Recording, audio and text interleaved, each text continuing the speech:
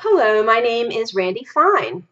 I am a life issues counselor, host of the Blog Talk Radio podcast A Fine Time for Healing, video maker and songwriter, and author of the books Finally and Awaken from Life. In March 2014, I was talking to a friend who knows me very well, telling him about how easily I absorb the feelings of others. He said to me, Randi, that's because you are an empath. I've always known that about you.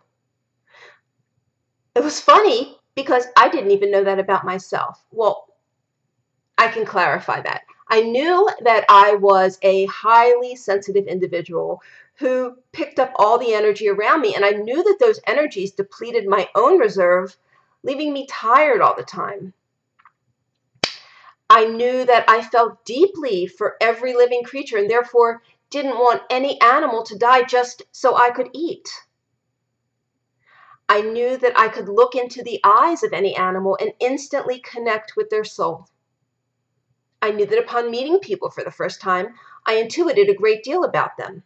And um, I knew that many people who interacted with me did not understand me.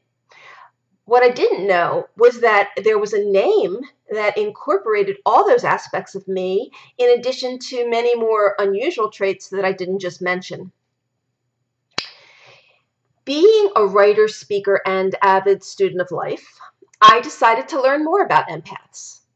Right off the bat, I was wowed by how well the characterization of an empath fit me. There was no doubt I had to agree that my friend knew me better than I knew myself. Amazing. As has always been my nature, when I learn new things, I share them so others can learn too. With my writing and speaking platforms solidly in place, I regularly reach many people who want to learn what I share.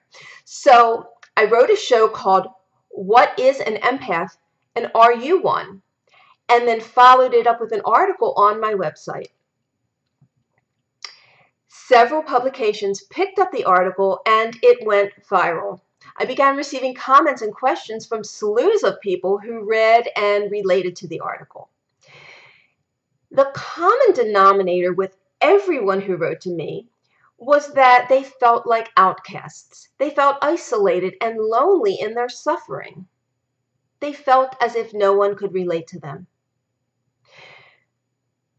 Realizing how many of us are out there, I decided it would be greatly beneficial to create a sense of community for empaths, a place where people from all over the world could make friends, get support, and share experiences.